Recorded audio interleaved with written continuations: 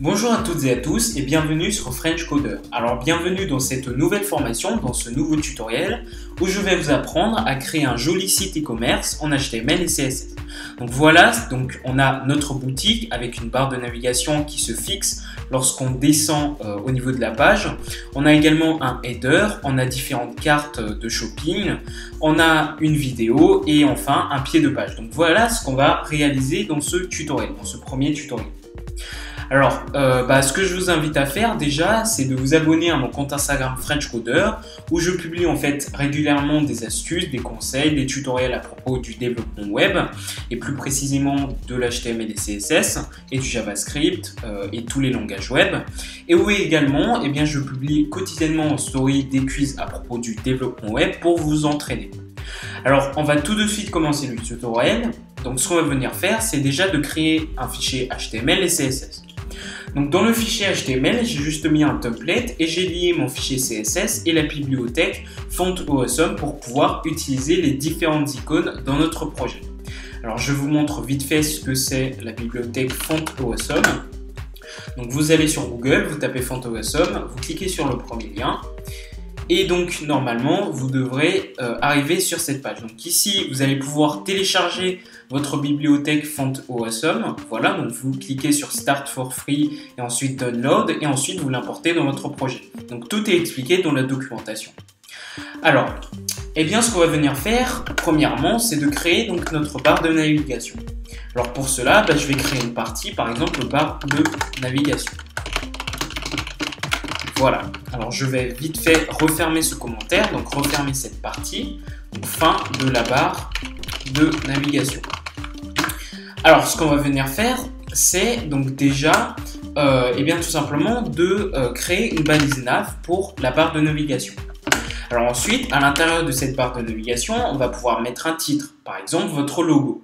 Bah, moi, par exemple, je vais créer un titre de niveau 1, donc une balise H de niveau 1, et je vais l'appeler e-com pour e-commerce. Alors ensuite, bah, je vais créer une boîte, une boîte qui va s'appeler onglet. Donc cette boîte, div en HTML, va tout simplement stocker tous nos onglets avec notamment euh, notre input, donc notre barre de recherche, et les deux icônes qui se trouvent au niveau de notre barre de navigation. Alors à l'intérieur de cette euh, boîte, donc ce que je vais faire, c'est déjà de créer euh, différents paragraphes, différents onglets. Alors, ces paragraphes auront pour classe link. Vous allez voir pourquoi par la suite. Donc, eh bien, par exemple, on va dire, bah, je vais en créer 5. Voilà, donc je crée 5 paragraphes. Et par exemple, pour le premier euh, lien, je vais l'appeler nouveauté. Pour le deuxième lien, par exemple, homme. Pour le troisième, femme. Et vous l'aurez compris, par, euh, pardon. Donc ici, on va mettre enfant et cadeau vous mettez ce que vous voulez, bien évidemment. Donc si j'actualise ma page, regardez, on a bien notre titre et nos onglets. Alors ce qu'on va venir faire également, c'est de créer un formulaire pour pouvoir ensuite gérer les données avec du PHP, mais ce, n'est pas l'objet du tutoriel. Donc je vais créer un formulaire et à l'intérieur du formulaire, et eh bien tout simplement, je vais créer un input de type search pour pouvoir créer notre barre de recherche. Et eh bien au niveau de cet input, je vais mettre un placeholder, par exemple je vais écrire rechercher. Donc si j'actualise ma page, regardez, on a bien notre barre de recherche avec notre texte à l'intérieur. Alors ensuite, bah, ce que je vais pouvoir faire, c'est de sortir du formulaire et pourquoi pas créer nos deux icônes qui se trouvent juste ici. Notre icône shopping et notre icône avec un petit cœur juste ici. Pour cela, eh bien, comme je vous l'ai dit, je vais utiliser la bibliothèque Font Awesome. Alors, par exemple, je vais chercher l'icône Heart pour cœur en euh, français. Donc, je recherche la, euh, euh, Heart, voilà. Donc, je tombe sur cette page et ici, par exemple, je vais sélectionner la deuxième icône et donc ça charge. Et ici, bah, je vais tout simplement copier le code HTML généré. Je vais le coller au niveau de notre paragraphe eh bien, je vais créer par exemple ici euh, donc un autre paragraphe, une autre icône. Mais cette fois-ci, bah, je vais changer l'icône. Bah, par exemple, je vais écrire shopping. Donc, je, euh, recherche l'icône shopping. donc, il va chercher les résultats. Et là, regardez ici, on a bien notre icône shopping. Donc, euh, comme pour la précédente icône, je copie le code HTML généré. Et donc ce que je fais, c'est que je colle au niveau de mon projet. Et là, regardez, on a bien nos deux icônes. Encore une fois, euh, ce que vous devez faire, c'est déjà d'importer votre euh, bibliothèque à l'intérieur de votre projet. Alors bien évidemment, tout le code source de ce tutoriel se trouve dans la description. Alors, une fois qu'on a terminé donc, notre barre de navigation au niveau de notre euh, fichier HTML, ce qu'on va venir faire, c'est de styliser tout ça. Alors déjà, ce qu'on va venir faire, c'est de modifier la police par défaut de notre page. Pour cela, eh bien, ce que je vais faire, c'est déjà d'aller sur Google Fonts, qui est une bibliothèque cette fois-ci de police. Donc je clique sur le premier lien. Et en fait, ici, je vais par exemple pouvoir sélectionner une police. Donc ici, ce qui, ce qui m'intéresse, c'est la police OpenSANS. Donc je clique dessus. Ensuite, bah, par exemple, je sélectionne celle avec Regular 400. Je clique sur Import. Et bien, ce que je fais, c'est de copier, c'est que je copie en fait euh, bah, euh, le code d'importation généré. Et ce que je vais faire, c'est tout simplement au niveau de notre balise body, du corps de notre page, je vais tout simplement coller donc notre, notre euh, police. Pardon. Donc ensuite, bah, si j'actualise ma page, regardez, on a bien notre police qui s'applique. Alors ensuite, bah, euh, je vais donc en profiter pour euh, donc modifier les marges, donc enlever les marges de notre body. Voilà, donc si j'actualise, les marges sont bien enlevées et voilà. Alors maintenant, donc comme dans notre fichier HTML, bah, tout simplement, je vais créer donc une partie barre de navigation. Voilà. Et je vais refermer tout ça. Fin de la barre de navigation. Alors, donc à l'intérieur de cette partie, vous l'aurez, compris, on va venir euh, donc styliser notre barre de navigation. Alors déjà, je vais déclarer donc notre balise nav au niveau de notre fichier CSS. Alors déjà, dans notre barre de navigation, je veux donc aligner tous les éléments. J'utilise pour cela la, propriété DisplayFlex. Donc là, on a bien notre logo, notre titre principal, avec nos onglets, euh, notre partie onglets qui sont alignés. Alors j'utilise également la propriété FlexWrap pour que lorsque la résolution ne le permet pas, eh bien tout simplement nos éléments ne seront pas alignés mais empilés. Alors ensuite, bah, ce que je vais faire, c'est de mettre un Justify Content Space Between pour pouvoir en fait mettre un espace entre les deux. Alors ensuite, bah, ce que je vais pouvoir faire, c'est de mettre une marge intérieure de 20 pixels. Regardez, comme ça, on a une petite aération, si vous voulez, au niveau de notre barre de navigation. Alors ensuite, bah, je vais mettre une background color à blanc. Donc ça, vous connaissez. Eh bien, je vais mettre un position sticky et ensuite un top à 0. Pourquoi? Pour en fait, lorsque, euh, bah, regardez ici en fait dans notre projet final, lorsque je scroll, eh bien notre barre de navigation reste bloquée en haut de notre page. Donc ça va nous permettre de provoquer cet effet euh, de blocage, si vous voulez, donc de, notre barre de navigation qui reste accrochée au niveau de notre page. Donc ça, ça se fait avec la position sticky et le top 0. Alors maintenant, on a terminé avec notre balise nav. Maintenant, ce que je veux faire, c'est pourquoi pas déjà modifier notre logo. Alors pour cela, bah, je déclare nav h1, donc h1 qui correspond à notre logo. Et eh bien ce que je vais faire, c'est pourquoi pas déjà réduire la taille à 20 pixels. Donc si j'actualise, on a bien notre texte qui est réduit. Alors ensuite, bah, je vais m'occuper des onglets cette fois-ci, de la partie onglets, c'est-à-dire tous nos onglets, tous nos liens avec notre input et donc euh, bah, nos deux icônes. Alors ce que je vais faire, c'est tout simplement, par exemple, de mettre un display flex. Voilà. Et ensuite, bah, un flex wrap à wrap, comme d'habitude. Donc voilà, si j'actualise ma page, on a bien euh, tous les éléments de notre boîte onglet qui sont alignés. Alors ensuite, bah, ce que je vais faire, c'est de, euh, m'occuper en fait des liens. Donc euh, des, balises paragraphes en fait qu'on a créées au niveau de notre boîte onglet, avec notamment ces différents liens et nos deux icônes. Alors pour cela, je déclare onglet P cette fois-ci. Donc toutes les balises paragraphes, toutes les balises P qui se trouvent à l'intérieur de notre onglet, et eh bien tout simplement je vais leur appliquer différents styles, notamment un font size de 17 pixels pour augmenter la taille, donc la police d'écriture. Ensuite je mets un margin right de 10 pixels afin d'espacer en fait tous nos liens. Voilà.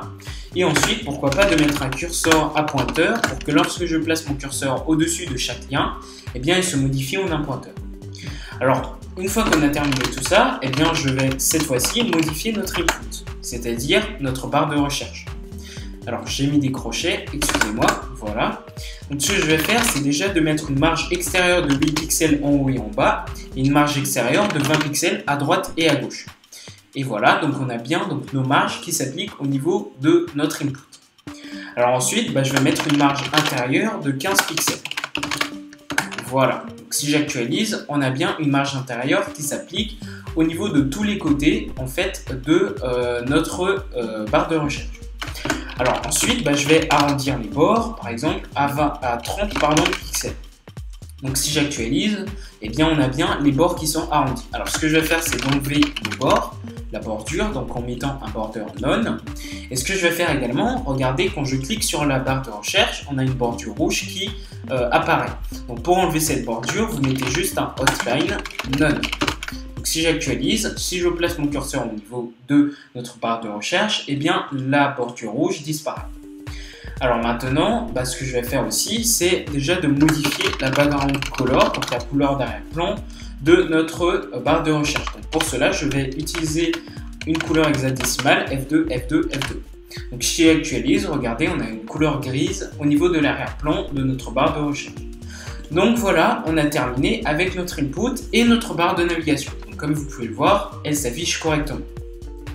Alors maintenant, ce qu'on va venir faire, c'est de passer à notre reader. Notre reader ici qui correspond euh, tout simplement à ce texte et au bouton au milieu de notre page. Pour cela, je me rends dans mon fichier donc HTML et ce que je vais faire, c'est de créer une nouvelle partie que je vais appeler header.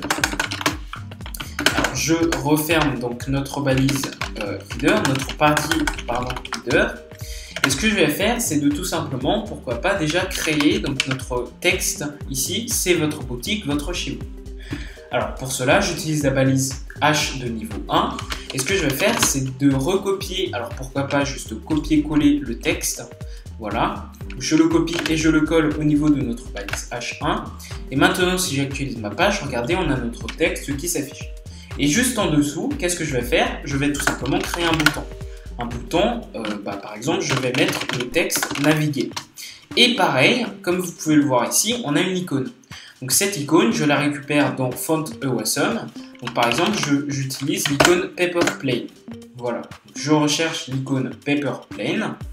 Et ici, eh bien tout simplement, pourquoi pas, je sélectionne euh, le premier, donc la première icône. Et tout simplement, je vais venir copier le texte, le, code HTML généré, et je le colle au niveau de notre projet. Donc si j'actualise la page, on a bien l'icône qui s'affiche. Alors maintenant, on va venir styliser tout ça dans notre fichier CSS. Pour cela, eh bien, je déclare notre partie header. Voilà, en commentaire, comme d'habitude. Donc ici, fin du header. Voilà. Et tout simplement, ce que je vais venir faire, eh bien, tout simplement, c'est de déclarer notre header. Alors, au niveau de notre header, eh bien, on va venir le centrer au niveau de notre page. Pour cela, j'utilise Display Flex et pour pouvoir en fait utiliser les propriétés de Justify Content Center et Align Item Center. Donc si j'actualise, alors ici rien ne se passe. Pourquoi? Bah tout simplement parce qu'ici j'ai oublié de déclarer notre header, donc la balise header HTML. Donc tous ces éléments, je vais les placer entre notre balise header. Voilà, donc si j'actualise, regardez, notre texte et notre bouton sont centrés. Alors ce que je vais faire, c'est de, euh, de mettre une colonne, c'est-à-dire d'empiler nos éléments, parce que là, ils sont alignés. Pour les empiler, il suffit de modifier la propriété Flex Direction à colonne. Voilà. Donc si j'actualise ma page, regardez, donc on a bien euh, nos éléments qui sont empilés. Alors maintenant, bah, ce que je vais faire, c'est de m'occuper du titre, c'est-à-dire de l'élément H1 de notre header. Donc pour cela, bah, par exemple, je vais modifier la taille du texte à 50 pixels. Et pourquoi pas donc mettre une largeur maximale à 500 pixels. Donc si j'actualise, regardez, on a notre texte qui euh, s'est modifié, donc la police, euh, la taille du texte qui s'est modifiée et la largeur. Donc ici, si j'enlève cette largeur, regardez, notre texte s'aligne correctement. Mais maintenant, moi, ce que je veux, c'est de mettre une largeur pour pouvoir mettre une limite, en fait, au niveau de notre texte. Alors, maintenant, ce que je vais faire aussi, c'est de mettre un texte align donc à center, voilà, pour pouvoir en fait centrer notre texte. Voilà. Alors, une fois qu'on a terminé avec notre texte, bah, ce qu'on va pouvoir faire, c'est de modifier notre bouton. Encore une fois, notre bouton se trouve à l'intérieur de notre balise header, c'est pour ça qu'on déclare header, et ensuite on déclare notre bouton. Alors par exemple, au niveau de notre bouton, je vais mettre une marge intérieure de 15 pixels en haut et en bas, et de 20 pixels à droite et à gauche. Donc si j'actualise, on a bien la marge qui s'applique. Alors ensuite, pourquoi pas modifier la taille du texte à 20 pixels. Donc voilà, donc font size à 20 pixels. Alors ensuite, bah, je vais enlever la bordure, donc border none. Donc si j'actualise, on a bien la bordure qui s'enlève. Et bah pourquoi pas ensuite l'arrondir. Donc je mets un border radius à 5 pixels. Donc si j'actualise, on a bien la border radius qui s'applique au niveau de notre bouton. Et maintenant, regardez, comme pour notre barre de recherche, quand je clique sur le bouton, on a une bordure rouge qui s'affiche. Pour l'enlever, il suffit par exemple ici de mettre un outline, pareil, à none. Donc si j'actualise et que je reclique sur mon bouton, plus rien ne se passe. Alors, bah, ensuite, bah, ce qu'on va pouvoir faire, c'est pourquoi pas mettre un curseur pointeur pour pouvoir modifier notre curseur en un pointeur lorsque je place mon curseur au niveau du bouton. Pour avoir un petit effet bouton en fait. Voilà, donc comme vous pouvez le voir ici, on a terminé avec notre header. Alors maintenant, ce qu'on va venir faire, c'est de nous occuper de nos cartes. Alors pour cela, et eh bien, de notre fichier HTML, ce qu'il suffit de faire, c'est de créer une nouvelle partie que je vais appeler, pourquoi pas, section principale. Donc la section principale va en fait ici stocker nos cartes, pardon, mais également notre vidéo. Donc c'est pour ça qu'on utilise une section principale. Je referme le commentaire. Donc encore une fois, les différentes parties, donc les différents commentaires servent en fait à mieux nous repérer, donc repérer et mieux structurer notre code HTML. Donc je referme cette section principale, donc fin de la section principale. Voilà. Donc à l'intérieur de cette section principale, je vais tout simplement donc euh, créer une section.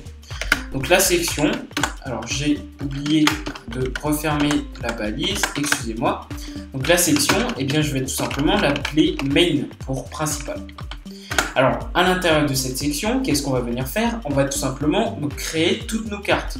nos cartes qui se trouvent ici. Donc pour cela, bah, je vais créer une autre euh, partie, que je vais appeler toutes les cartes. Voilà. Ensuite, bah, je vais refermer cette partie, fin de toutes les cartes. Alors, à l'intérieur de cette partie, eh je vais créer une div, donc une boîte, que je vais appeler cards. Donc, je vais, appliquer la classe cards. Et ensuite, bah, tout simplement, à l'intérieur même de cette div de classe cards, je vais tout simplement donc créer la première carte, c'est-à-dire celle-ci. la première carte qui se trouve ici. Donc en fait, notre balise cards avec un S va tout simplement stocker toutes ces cartes. Mais euh, notre balise div de classe card sans S va stocker une seule carte. Voilà. Je déclare donc card. Voilà. Et à l'intérieur, bah, ce que je vais venir faire, c'est déjà de mettre une image. Voilà. Alors cette image, eh bien tout simplement, je vais la, euh, tout simplement copier son adresse, voilà, et je vais la coller au niveau donc de notre euh, SRC. Alors pour que vous voyez mieux, je vais tout simplement enlever les retours, je vais pardon, activer les retours à la ligne automatique. Donc si j'actualise, regardez, on a bien notre image qui s'affiche. Alors ce qu'on va venir faire également, c'est donc pourquoi pas donc créer euh, une autre div, une autre boîte à l'intérieur de card. Et eh bien ce que je vais faire donc sous l'image, et eh bien ce que je vais faire c'est de créer une autre div que je vais appeler card hidden. Donc cette card header va tout simplement stocker donc l'entête, euh, l'entête on va dire de notre carte, c'est-à-dire avec le nom euh, du, du euh, comment dire de l'article et son prix. Donc je l'appelle card header et bien ce que je vais faire, comme je vous l'ai dit, donc créer donc un titre que je vais appeler par exemple title et à l'intérieur, bah, par exemple, je vais mettre le titre de l'article, le nom de l'article. Par exemple, je vais l'appeler short name. Voilà, donc bien évidemment, ces images, je les, récupérées, je les ai récupérées pardon, sur le site de Nike, pour pas m'embêter. Alors en dessous, bah, ce que je vais faire aussi, c'est de créer une autre balise H4, un autre titre H4, que je vais cette fois-ci appeler price, pour le prix cette fois-ci. Donc si j'actualise, bien évidemment, on a bien notre titre. Alors au niveau de notre prix, je vais par exemple inventer un prix au hasard, donc 199 dollars. Donc si j'actualise, on a bien le prix qui s'affiche. Alors ensuite, bah, ce qu'on va venir faire, c'est pourquoi pas donc en dessous de notre div de classe header, de créer une autre classe, une autre div de classe cardBody, cette fois-ci pour le corps de notre article. Eh bien le corps de notre article, à quoi ça va correspondre? Ça va tout simplement correspondre à la description de notre article. Donc pour cela, à l'intérieur de cette div, je vais tout simplement créer un paragraphe. Bah, par exemple, je vais écrire short moulant. Voilà, short moulant pour donc si j'actualise ma page, on a bien donc le titre, la description qui s'affiche. Alors maintenant, on a terminé avec notre première carte. Bah, pour cela, pour la styliser, on va venir se rendre dans notre fichier CSS. Ce qu'on va déjà venir faire, c'est de créer une nouvelle section, une nouvelle partie qu'on va appeler section principale. Voilà, pour, euh, pour notre section principale. Et je vais refermer tout ça avec fin de section principale. Voilà. Alors maintenant, ce qu'on va venir faire, c'est de pourquoi pas déclarer notre balise main. Notre balise euh, main, rappelez-vous, qui est notre section principale qui va stocker euh, bah, tout simplement toutes nos cartes, donc ici toutes nos cartes avec notre vidéo. Donc je déclare cette balise main, et bien ce que je vais faire, c'est de tout simplement appliquer pourquoi pas une marge extérieure de 20 pixels au niveau de tous les côtés, une margin top, pourquoi pas de 80 pixels pour bien éloigner en fait euh, notre, euh, notre div main, pas notre div mais notre section main, notre section principale de notre header pour mettre un espace entre les deux. Et bien, ce que je vais venir faire aussi, c'est de mettre un display flex pour aligner tous les éléments de notre section principale, de mettre un flex direction, ah bah non, justement, on ne va pas aligner les éléments de notre section principale, on va les empiler. On va les empiler parce qu'ici, regardez, nos cartes et notre, euh, notre vidéo sont bien empilées. Donc ici, on a notre balise cartes qui stocke toutes nos cartes et notre iframe vidéo, donc notre vidéo qui sont empilées. Donc ensuite, bah, ce que je vais venir faire, c'est de mettre un Justify Content. Donc ici, on a utilisé notre display flex pour pouvoir utiliser la propriété Justify Content et la mettre à center pour centrer nos éléments et faire la même chose avec nos align items center. Donc si j'actualise, regardez, donc on a déjà notre image et notre carte, nos, textes sous l'image qui sont alignés, euh, qui sont centrés pardon, au niveau de notre page. Alors ensuite, bah, ce que je vais venir faire, c'est de cette fois-ci nous occuper donc euh, bah, tout simplement de, nos cartes. Donc pour cela, bah, je crée une nouvelle partie que je vais appeler toutes les cartes. Voilà, donc fin des cartes. Voilà. Et à l'intérieur, tout simplement, je vais venir donc déclarer notre balise div class cards. Donc c'est notre balise principale qui stocke toutes nos cartes.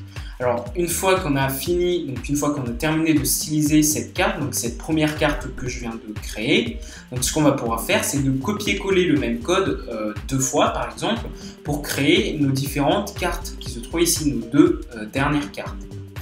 Alors, donc je déclare notre balise principale cards, et bien ce que je vais faire, c'est d'aligner en fait toutes nos cartes au niveau de la même ligne. Donc, je mets également un flex wrap wrap pour qu'en fait, si la résolution de l'utilisateur est trop petite, on va venir empiler ces cartes. On ne va pas les aligner, on va les empiler cette fois-ci. Donc si j'actualise, ici, rien ne se passe tout simplement parce qu'on n'a qu'une seule, euh, seule carte. Alors, comme je vous l'ai dit, je vais donc copier-coller cette carte euh, deux fois pour en fait pouvoir avoir deux autres cartes. Alors bien évidemment, ici, notre flex euh, display flex ne s'applique pas, donc tout simplement parce que nos images sont trop grandes et donc nos cartes ne peuvent pas s'aligner. Donc c'est à ça que ça sert notre flex wrap. Alors, on va euh, remédier à ce problème. Donc, ce qu'on va venir faire, c'est déjà de déclarer notre card cette fois-ci. Donc, chaque card. Donc, rappelez-vous, chaque carte en fait possède la classe card. Vu que j'ai fait juste, j'ai juste fait un copier-coller. Donc, chaque carte en fait euh, correspond à la classe card. Donc si ici je modifie donc la classe card de notre fichier CSS, toutes nos cartes auront les mêmes propriétés. Donc ce que je vais venir faire, c'est de mettre un margin right de pourquoi pas 20 pixels pour en fait pouvoir mettre la marge qui se trouve entre chaque carte. Donc ici bien évidemment encore une fois ça ne s'applique pas tout simplement parce que nos euh, éléments ne peuvent pas s'aligner à cause de nos images. Alors ce que je vais faire aussi, c'est de mettre un curseur à pointeur pour que lorsque je place mon curseur au niveau de chaque carte, il se modifie en un pointeur. Alors maintenant, euh, bah, passons euh, à la modification principale, c'est-à-dire redimensionner notre image. Donc pour cela, bah, je déclare notre carte image, IMG, donc la balise IMG qui se trouve à l'intérieur de chaque carte. Et eh bien ce que je vais faire, c'est tout simplement de modifier sa largeur en 350 par exemple pixels.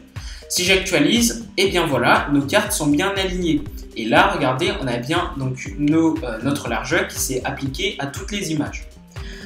Alors, euh, et bien maintenant, bah, ce qu'on va venir faire, c'est pourquoi pas de modifier notre carte header, c'est-à-dire le titre avec euh, notre prix. Donc pour cela, bah, je déclare card et cette fois-ci, je sélectionne card header. Donc au niveau de notre carte header, ce que je vais faire, c'est pourquoi pas aligner notre titre, donc le nom de l'article, avec le, euh, avec le prix. Pardon. voilà, ça c'est bien aligné. Et comme je vous l'ai dit, quand on modifie donc une classe, sachant que toutes ces cartes possèdent la même classe, eh bien ça s'applique au niveau de toutes nos cartes, vu qu'elles possèdent les mêmes classes, c'est logique. Alors ensuite, bah, je vais mettre un flex wrap euh, à wrap comme d'habitude. Donc encore une fois, c'est pour gérer les résolutions. Et ce que je vais faire, c'est de mettre un justify content donc justify content as space between, voilà, pour mettre un espace entre donc, le nom de l'article et euh, tout simplement son prix. Alors ensuite, bah, ce qu'on va pouvoir faire bah, maintenant, c'est de modifier la description de chaque article.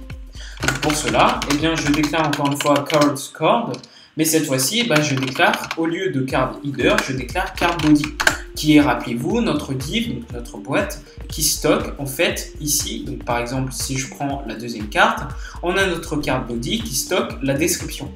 Donc pour cela, bah, tout simplement je déclare notre carte body et ce que je vais faire c'est de mettre un margin top de moins 10 pixels. Pourquoi? Pour en fait remonter la description au-dessus. Pour, euh, pour en fait diminuer la marge entre notre card leader et notre carte body, comme dans notre projet final. Alors ici, euh, voilà, donc ça marche. Et euh, alors, alors ici, regardez, il y a une petite erreur parce que dans notre projet final, eh bien ça remonte un peu plus. Et ici, on a encore une petite marge. Tout simplement parce qu'ici, il suffit de déclarer cette fois-ci notre balise P, c'est-à-dire le paragraphe, donc la balise P qui se trouve à l'intérieur de notre carte body. Donc si j'actualise, on a bien notre texte qui encore remonte. Tout simplement parce que cette fois-ci, on, applique la propriété au niveau de notre paragraphe, euh, de, notre, euh, de notre div card body. Alors voilà, donc là on a bien nos cartes qui s'affichent correctement, donc on a bien notre boutique qui commence à prendre forme. Eh bien, ce qu'il faut faire maintenant, c'est de modifier donc les articles, modifier leur image, leur, euh, nom et leur description. Donc pour cela, je ne vais pas m'embêter. Ce que je vais venir faire, c'est tout simplement euh, bah, aller dans mon projet final, copier l'URL de chaque image, copier l'adresse de chaque image et modifier tout cela dans chaque carte. Voilà, donc je modifie la première carte, je copie son nom, voilà, je remplace le nom juste ici, je, remplace pardon, également son prix en 69 dollars et je remplace également sa description comme ceci. Voilà, si j'actualise ma page, bien évidemment, toutes les modifications s'opèrent au niveau de notre page. Je vais faire la même chose pour la troisième carte. Donc je copie l'URL, l'adresse de notre image. Voilà, alors bien évidemment, vous pouvez euh, avoir un dossier image à l'intérieur de votre projet et pointer donc la source au niveau de chaque image, mais ici, moi, je préfère donc utiliser l'URL de chaque image. Alors ici, comme vous pouvez le voir, euh, bah, l'image vient de Nike, vient du site de Nike tout simplement. Alors, je copie ici également le nom de l'article. Donc son prix est de 39 euh, euros, 39 euh, dollars, et je modifie donc la description. Je copie et je colle, et maintenant si j'actualise, on a bien nos cartes qui sont modifiées. Alors voilà, on a terminé avec toutes nos cartes et maintenant ce qu'on va venir faire c'est de tout simplement euh, bah, placer notre vidéo. Alors cette vidéo je l'ai tout simplement récupérée sur YouTube. Donc en fait ici ce que j'ai fait c'est tout simplement de mettre un iframe, c'est-à-dire une partie d'un site internet. Donc ici, dans ce cas, c'est YouTube. J'ai intégré la vidéo YouTube tout simplement à l'intérieur de ma page. Ce n'est pas, bien évidemment, ce n'est pas une vidéo propre à ma page. C'est bien YouTube en fait qui est intégré, si vous voulez, à notre page. Alors ça sert à ça les iframes qu'on va voir tout de suite. Alors bah, ce qu'on va venir faire, c'est de rester dans notre section principale, comme je vous l'ai dit, mais cette fois-ci de créer une nouvelle partie. Donc une nouvelle partie que je vais appeler par exemple ici euh, vidéo de présentation. Voilà. Et je vais donc refermer ce commentaire juste ici, donc fin de la vidéo de présentation. Voilà. Donc ce que je vais venir faire, comme je vous l'ai dit, c'est de créer donc une boîte, une nouvelle boîte qu'on va appeler vidéo. Donc cette nouvelle boîte va en fait stocker un iframe. Un iframe, j'arrive pas à prononcer en anglais, excusez-moi, mais c'est tout simplement un embed, si vous voulez, donc c'est-à-dire euh, un site qu'on va intégrer dans notre site. Ici, YouTube. Donc ici, plus précisément, une vidéo YouTube. Donc au niveau de votre iframe, ce que vous allez faire, c'est déjà de mettre un SRC, une source, comme au niveau de vos liens et de vos images. Euh, pas de vos liens, pardon, mais de vos images. Donc ici, ça marche exactement pareil comme les images. Donc vous mettez la source de votre vidéo. Donc par exemple ici, je copie juste l'URL de la vidéo YouTube. Donc bien évidemment, si je vais sur YouTube et que je colle l'adresse URL que je viens de copier, et eh bien ici, bien évidemment, on tombe sur la vidéo en question. Donc ici, on a bien cette vidéo qui s'affiche. Donc ce que vous faites, c'est tout simplement d'aller sur cette vidéo et de copier en fait. Euh, alors vous faites clic droit normalement sur la vidéo, si je ne me trompe pas. Voilà, et vous copiez l'URL de la vidéo. Alors je referme notre page et ce que je vais venir faire, c'est de coller cette URL au niveau de la balise euh, de l'attribut src Et ensuite, bah, pourquoi pas, je vais ajouter un allow full screen pour pouvoir en fait ici regardez, autoriser en fait euh, bah, tout simplement le full screen, c'est-à-dire euh, le grand écran. Alors ici, il nous dit YouTube n'autorise pas la, la, connexion. Tout simplement parce que, parce que ici, on a embed, donc on a tout simplement utilisé le lien direct de la vidéo. Alors ce qu'on va faire, bah, c'est tout simplement d'ajouter après le slash de YouTube, alors ici j'ai écrit youtube.be, donc je vais juste mettre l'URL complète, c'est-à-dire youtube.com. Et ce que vous allez faire, c'est après le slash, mettre un embed. vous mettez embed. Donc ça, c'est YouTube, bien évidemment, qui le génère automatiquement. Donc vous ajoutez ensuite un slash. Et maintenant, si j'actualise ma page, regardez, on a bien évidemment ici accès à la vidéo. Alors, euh, si vous voulez en savoir plus, alors ici, je vais donc copier euh, la, vidéo. Donc ici, j'accède à la vidéo. En fait, ce que j'ai juste fait, pour euh, éviter, pour que vous compreniez bien, en fait, ici, regardez, ce que j'ai fait, c'est juste de cliquer sur le bouton partager. Donc je clique sur le bouton partager. Alors là, ma connexion rame un peu, et mon ordinateur aussi d'ailleurs. Donc j'ai cliqué sur le bouton partager et ensuite ici vous avez en fait la possibilité d'intégrer votre vidéo. Donc je clique sur intégrer et là regardez comme vous pouvez le voir ici on a un iframe généré automatiquement par YouTube et c'est cet iframe en fait que vous pourrez coller au niveau de votre page. Donc ici, au niveau de l'URL de la vidéo, regardez, on retrouve bien notre embed. Donc ici, encore une fois, cet embed, eh bien, c'est YouTube qui le génère. Voilà. Voilà pour les détails. Alors maintenant, revenons à nos moutons. Donc ce qu'on va venir faire ici, comme je vous l'ai dit, c'est de mettre notre iframe. Alors ensuite, bah, on va venir se rendre dans notre fichier CSS. On va sortir de la partie de nos cartes. Et ce que je vais faire, c'est de créer cette fois-ci une partie vidéo de présentation. Je referme cette partie, fin de la vidéo de présentation. Et ce que je vais faire, c'est à l'intérieur de cette partie, déclarer notre balise main qui, rappelez-vous, est notre balise, notre section principale qui stocke les cartes et notre vidéo. Et je euh, déclare notre div vidéo, notre boîte vidéo ici, qui stocke notre iframe. Donc à l'intérieur, bah, ce que je vais faire, c'est déjà de mettre un margin top de 80 pixels pour éloigner notre vidéo en fait de nos cartes. Donc ici.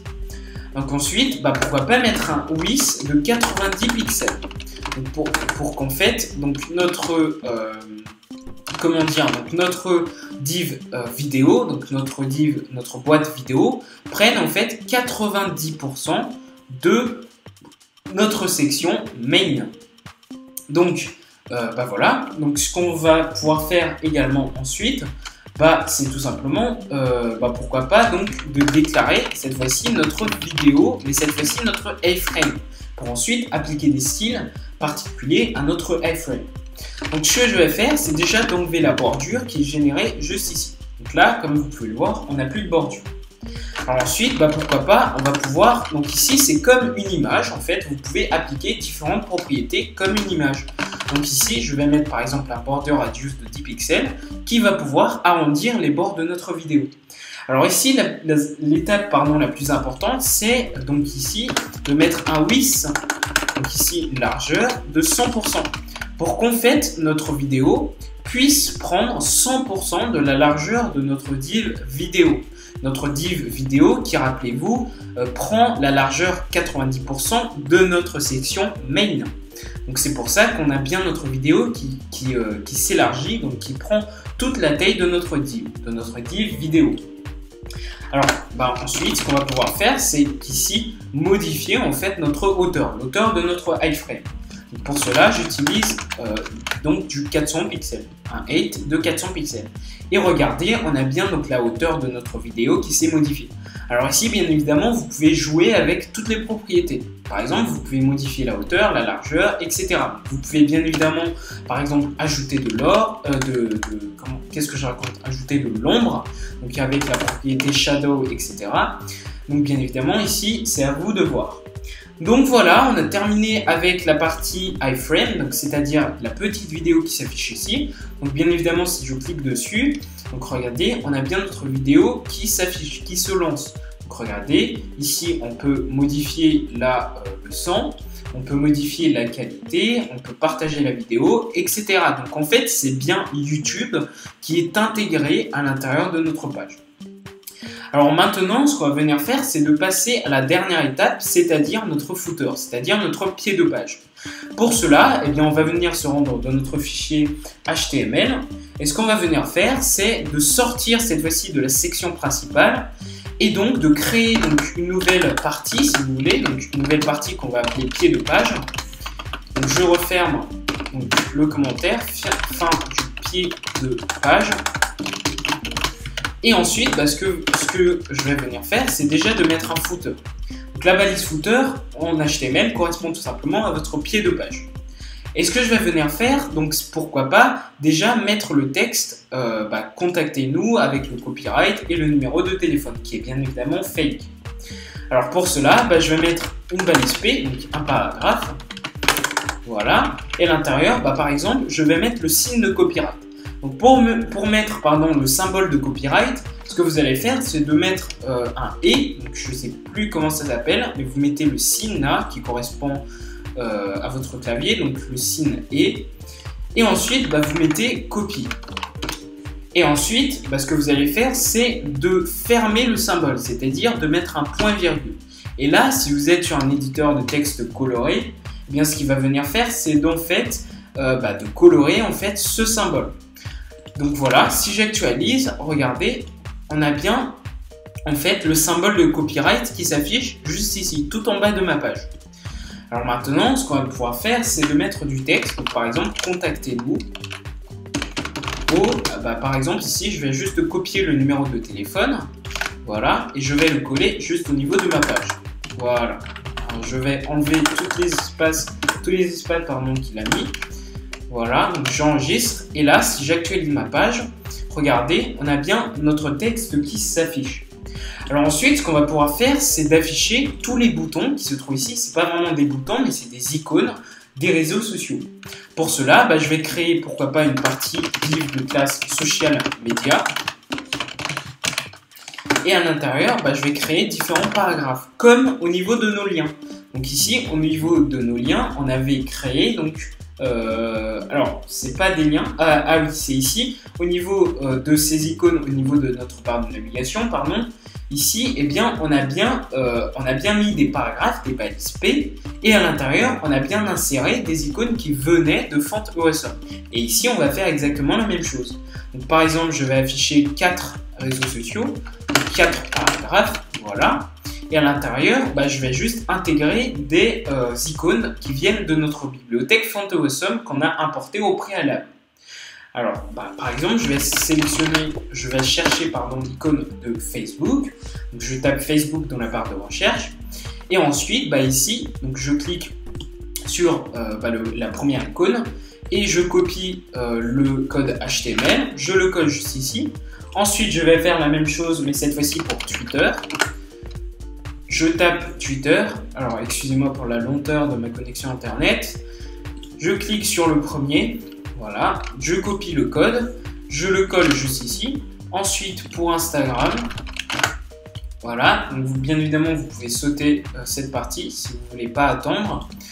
Donc, je clique sur Instagram, je copie l'URL généré, l'adresse, euh, le code pardon généré. Alors, j'ai oublié de le copier. Voilà. Et enfin, ce qu'on va venir faire, c'est de faire la même chose pour LinkedIn. Voilà. Je tape LinkedIn. Alors, ce qui est cool avec cette bibliothèque, c'est qu'il propose plein d'icônes. Comme vous pouvez le voir, il a su trouver toutes nos icônes de nos réseaux sociaux. Donc, je clique sur LinkedIn, je copie et je colle. Donc maintenant, si j'actualise ma page, on a bien en fait au niveau de notre pied de page toutes nos icônes qui s'affichent correctement. Alors ici, euh, petit problème, on a deux fois Facebook. Alors ce que je vais faire, c'est de en fait reprendre Twitter. Alors pas la peine de refaire la même chose. Ce que je vais faire, c'est juste modifier Twitter ici. Donc si j'actualise ma page, regardez, on a bien le logo de Twitter. Alors voilà, donc on a terminé de notre fichier HTML. Et eh bien, ce qu'il nous reste à faire maintenant, la dernière étape, la toute dernière étape de cette formation, de ce tutoriel, c'est de styliser notre footer, notre pied de page. Alors pour cela, on va sortir de notre section principale, et cette fois-ci, on va créer une, euh, nouvelle partie pied de page. Voilà. Et ce que je vais faire, c'est de refermer cette partie, fin du, fin du pied euh, de page, voilà. Et ce que je vais faire à l'intérieur, c'est tout simplement de déclarer notre footer, notre balise footer, notre pied de page. Et je vais, comme d'habitude, donc espacer ce footer de 100 pixels euh, bah, tout simplement de notre vidéo, de notre section principale. Et ensuite, bah, pourquoi pas mettre une background color, cette fois-ci, qui nous distingue des autres éléments de notre page. Donc par exemple, je vais mettre une background color à blanc. Sauf qu'ici, si j'actualise, on a bien notre background d'arrière-plan qui s'affiche. Mais sauf que on ne voit plus notre texte. Donc pour cela, ce qu'il suffit de faire, c'est de mettre une couleur à blanc. pour dire à notre CSS d'appliquer une couleur à blanc à tous les éléments de notre footer.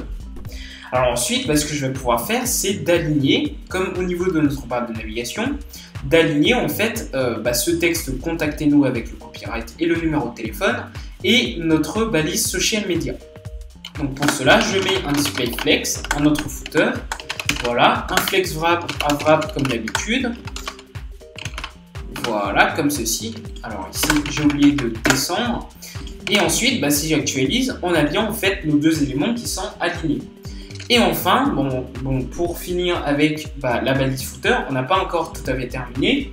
Mais ce qu'on va venir faire, c'est de mettre en fait un espace entre les deux, comme dans notre barre de navigation, encore une fois. Donc ce qu'il suffit de faire, c'est de mettre un justify content à space between pour mettre un espace between, c'est-à-dire entre. Donc si j'actualise, on a bien l'espace qui s'affiche. Alors ici, on n'a pas l'espace qui s'affiche. Pourquoi? Alors pour, tout simplement parce que j'ai utilisé la propriété justify self au lieu de justify content. Voilà, donc si j'actualise, on a bien l'espace qui s'affiche. Alors maintenant, bah, ce qu'il nous reste à faire, c'est déjà euh, de modifier les icônes parce que notre texte, euh, il est déjà correct, plus la peine de le modifier. Alors, euh, par contre, dans notre projet final, ici, on a des marges intérieures au niveau de notre footer. Alors, j'ai oublié de le mettre, excusez-moi. Ce qu'on va venir faire, c'est pourquoi pas de mettre une marge intérieure de 30 pixels. Donc, alors, euh, ici, j'ai enlevé la collade sans faire exprès. Donc, si j'actualise, en fait, ici, on a bien nos marges qui s'appliquent. Alors cette fois-ci, on va modifier nos icônes. pour cela, bah, tout simplement, je déclare social media, qui est notre div principale, notre boîte qui stocke euh, bah, tout simplement nos différentes icônes de réseaux sociaux. Et ce que je vais venir faire, c'est tout simplement de mettre un display flex pour en fait aligner nos icônes. Voilà. Et ensuite, bah, ce que je vais venir faire, c'est de déclarer encore une fois social media, cette fois-ci spécifier nos icônes, c'est-à-dire nos balises P euh, qui stockent en fait toutes nos icônes. Et eh bien, ce que je vais venir faire, c'est de mettre un margin right de 15 pixels pour en fait espacer de 15 pixels, euh, de mettre une marge extérieure en fait à droite de 15 pixels au niveau de chaque icône pour avoir un espacement entre chaque icône. Alors là, bien évidemment, on pourrait rester à là, on pourrait s'arrêter à là. Mais ici, euh, bah, vous pouvez par exemple ajouter des styles comme moi ici. Et bien évidemment, si vous ne souhaitez pas euh, bah, mettre des styles, par exemple une bordure arrondie, etc., bah, vous pouvez vous arrêter à là. Mais moi, je vais continuer. Donc ce que je vais faire, c'est de mettre une bordure de 1 pixel solide. Eh bien, je vais mettre par exemple une bordure blanche. Voilà. Donc je spécifie ces trois paramètres. Et ensuite, pourquoi pas de mettre un border radius à 100% pour en fait arrondir la bordure de 100%. Donc maintenant, on a bien nos bordures qui s'affichent. Donc ce qu'il nous reste à faire, devinez, c'est de mettre un padding, c'est-à-dire une marge intérieure pour espacer en fait notre bordure de nos éléments, de nos icônes. Donc pour cela, bah, je vais mettre par exemple une padding de 5 pixels. Et là, on a bien nos éléments qui sont espacés. Alors maintenant, ce que je vais faire également, c'est de centrer nos icônes au milieu de, euh, bah, tout simplement, euh, notre, euh, notre paragraphe. pour cela, j'utilise la propriété TextLine Center. Alors si j'actualise, alors ici, aucun effet ne se produit, tout simplement parce que nos icônes étaient bien centrées, étaient déjà bien positionnées au niveau de notre paragraphe, de nos icônes.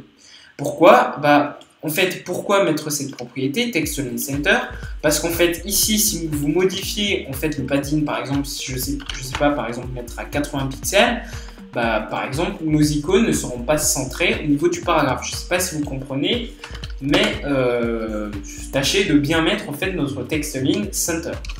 Et ensuite, bah, pour pouvoir avoir la même dimension au niveau de chaque icône, bah, ce que je vais faire, c'est tout simplement de mettre une largeur par défaut de 20 pixels à chaque icône. Et là, regardez, on a bien en fait euh, bah, tout simplement nos icônes qui ont la même dimension. Et enfin, ce qu'il nous reste à faire, c'est tout simplement de mettre un curseur pointeur pour que lorsque je place mon curseur au niveau de chaque icône, eh bien, il se modifie en un pointeur. Et donc voilà, bah, on a terminé avec notre footer. Euh, mais sauf qu'ici, je viens de remarquer un truc en fait. Quand j'inspecte l'élément, et que je me place en format mobile, eh bien tout simplement ici euh, c'est le bordel total. Pourquoi? Parce qu'en fait ici on a nos images qui sont trop grandes, on a notre barre de navigation qui s'affiche pas correctement, etc. Donc en fait pour pouvoir euh, régler ce problème, ce qu'il vous suffit de faire, c'est tout simplement de mettre un media queries. Un media queries, c'est tout simplement, euh, ça touche en fait au responsive design, qui va permettre en fait de gérer la résolution de votre écran, d'appliquer certains euh, styles, certaines propriétés en fonction de la résolution d'écran de votre utilisateur. Donc si je mets euh, ici un media screen, donc media screen and entre parenthèses max miss à 640 pixels, ça veut dire que à partir de 640 pixels et en dessous, bah, ce qu'on va venir faire, c'est d'appliquer les styles qui se trouvent à l'intérieur de ces accolades. Notamment, bah, ce que je vais venir faire, c'est de déclarer notre barre de navigation. Je vais toucher nos onglets et déclarer, en fait, ici, c'est là que ça va jouer nos classes link. Donc ici, en fait, on a mis, rappelez-vous, des classes link à chaque onglet, sauf euh, bah, tout simplement à notre search bar, à notre input et euh, nos icônes, nos deux icônes de notre barre de navigation. Ce qu'on a tout simplement fait, c'est de mettre une classe link à chaque, euh, à chaque lien en fait. Bah, tout simplement, ici, on va pouvoir utiliser ces classes link et ce qu'on va pouvoir faire, c'est de, cacher en fait ces liens. Donc de mettre un display none. Donc si j'actualise ma page et que j'inspecte l'élément, donc maintenant, regardez, nos liens ont disparu. On a tout simplement retiré, on a caché nos liens lorsque la résolution de l'utilisateur est inférieure à 640 pixels. Alors ici, nos liens réapparaissent tout simplement parce que la résolution de l'utilisateur est supérieure à 640 pixels. Si je diminue la résolution, donc ici regardez, et eh bien là, tac, euh, dès que j'atteins 640 pixels, nos liens disparaissent. Alors ensuite, ce qu'on va pouvoir faire, c'est de faire la même chose, euh, mais cette fois-ci au niveau en fait de notre logo. Donc, bien évidemment, vous n'êtes pas obligé de faire comme moi, mais moi, pour une question de design et de simplicité, bah, ce que je vais venir faire, c'est d'enlever également le logo. Donc pour cela, bah, je mets une virgule après link, et cette fois-ci, bah, je dis faire la même chose au niveau de notre logo, c'est-à-dire au niveau de la balise H1 qui se trouve à l'intérieur de notre barre de navigation.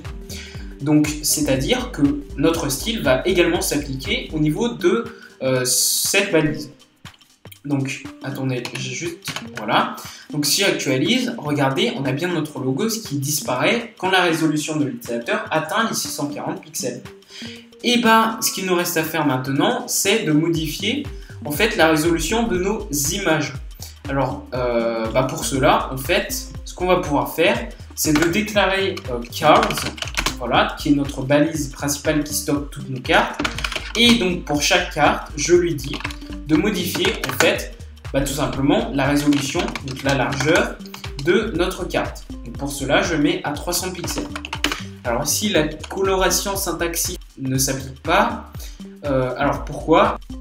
Alors ici, c'est tout simplement parce que j'ai mis un caractère juste ici. Donc si j'enlève ce caractère, normalement ça devrait fonctionner. C'est parfait, donc on a bien notre propriété qui s'affiche. Donc si j'actualise ma page, alors ici, je vais me replacer en format euh, paysage. J'actualise ma page.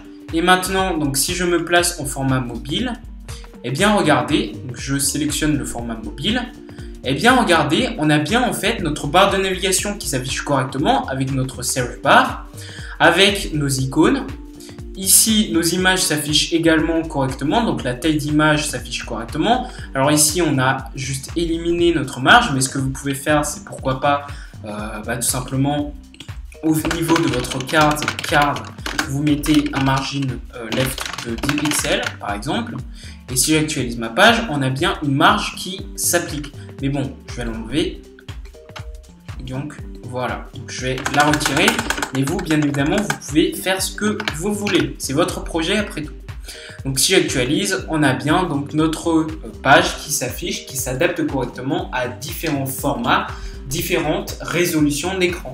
Et voilà, donc le tutoriel est terminé. Donc comme vous pouvez le voir, on a bien notre page, notre boutique e-commerce qui s'affiche correctement. On a notre footer, notre pied de page avec notre vidéo, euh, nos différentes cartes. Donc ça, c'est sûrement la partie la plus intéressante au niveau d'une boutique.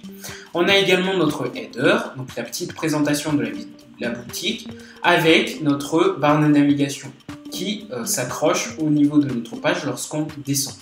Alors encore une fois, je vous invite à vous abonner à mon compte Instagram et ma chaîne YouTube bien évidemment French Coder pour en fait recevoir quotidiennement euh, des quiz comme je vous l'ai dit euh, à propos du développement web en story et pour recevoir hebdomadairement donc deux fois par semaine plus précisément euh, des conseils, des astuces, des tutoriels à propos du développement web. Et donc voilà, je vous dis à la prochaine.